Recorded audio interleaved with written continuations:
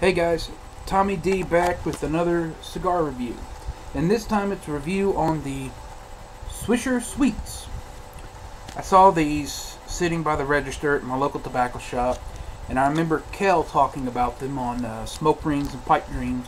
Figured, you know, what the heck, get them. They were just a buck twenty-five for three of them, and they are these tiny little cigars, and they come with these little rubber tips on them. And I got the cherry blend. Now these are made with pipe tobacco. Right off the bat, they smell pretty good. Uh, I smoked one earlier, and it smoked pretty even, which which is normal for a uh, machine-made cigar.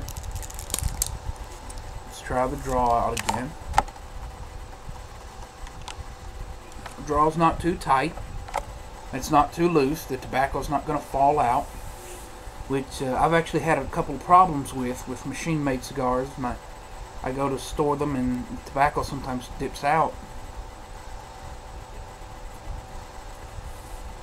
And uh, the tip's not going to fall off.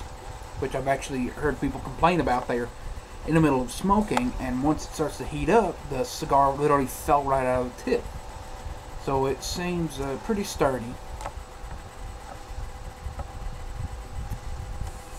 Yeah, good draw. I like a full-size cigar better because, uh, you know, it's just a little inky.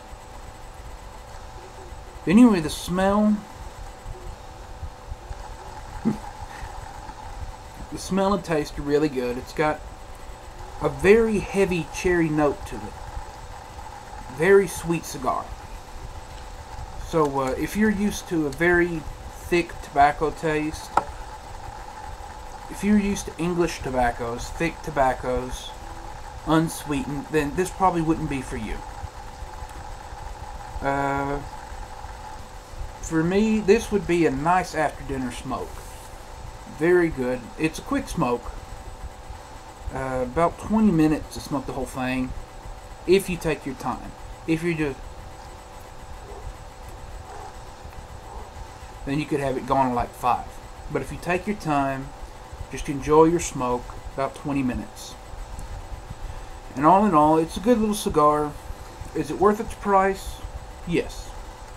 It is cheap. People sometimes ask me, why do you to review cheap stuff? Well, I've got three good reasons. One, crap costs money. Two, I don't crap money. Three, you ain't buying it for me. So anyway, it's a decent little cigar. You can get them most anywhere. All in all, I'd say if you're just wanting something of a good price for a quick smoke, pick it up. Take care.